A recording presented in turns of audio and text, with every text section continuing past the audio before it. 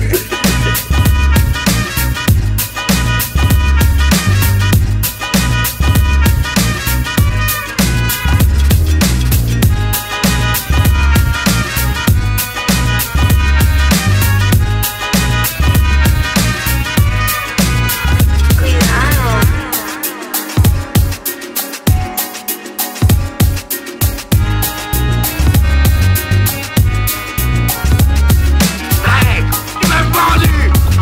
porte à porte paradis Ah non alors Parce que s'il y a plus de justice en ce monde